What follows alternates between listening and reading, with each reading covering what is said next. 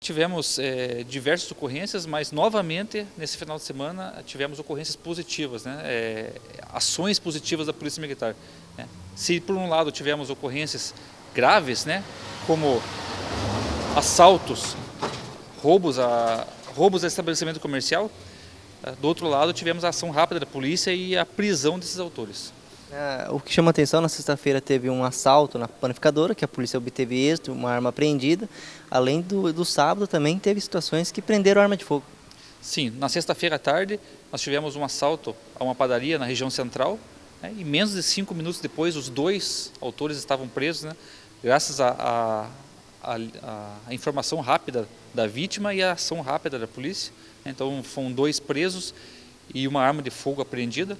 E no sábado, gra graças ao patrulhamento das nossas equipes, né, a Rotan, que estava patrulhando também na, na, na, na, parte da noite ali, do sábado, acabaram abordando algumas pessoas, né, realizar, realizaram a prisão de quatro pessoas, a apreensão de uma menor e a apreensão de várias é, armamento, munições, colete balístico, né, equipamentos para utilizar em armamento, dinheiro, drogas, né, então foi tudo isso numa ocorrência só. Então foi uma, uma ocorrência bastante feliz das nossas equipes aí, é, significativa, né? Porque foram três armas de fogo numa ocorrência só. Né? São pessoas é, perigosas, um veículo que estava com queixa de furto, roubo nessa mesma ocorrência. Né? Então, pelo, pelo equipamento que a gente aprendeu ali, dá para presumir que são pessoas perigosas que provavelmente iriam cometer crimes mais graves. Graças ao bom trabalho da Polícia Militar, estão fora de circulação.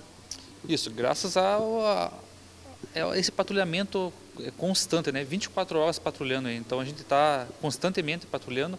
As equipes têm é, conhecimento de, de, do serviço, ali, têm conhecimento da área, sabem aonde atuar, sabem é, reconhecer ali atitude suspeita de alguém, né? Então foi o que aconteceu nessa situação, né? Eles é, reconheceram a atitude suspeita dessas pessoas, né? Foram realizar a abordagem, as pessoas já esboçaram é, reação, tentaram fugir da abordagem, desobedeceram a abordagem, né?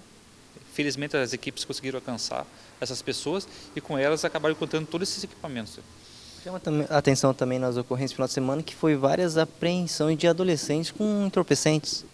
Sim, tivemos, além dessa ocorrência com armas, com drogas, tivemos uma menor de idade, é, uma outra ocorrência ali no Jardim Araucária, é, é, foram quatro menores, é, é utilizando é, portando ali é, droga êxtase, que é uma droga mais pesada, né, mais difícil de você encontrar aqui. Então, é, infelizmente, todo, é, todo final de semana, toda semana, a gente está é, se deparando com menores envolvidos tanto em crimes como furto, roubo, é, lesão corporal, quanto também a, ao tráfico de drogas, ao uso de entorpecentes.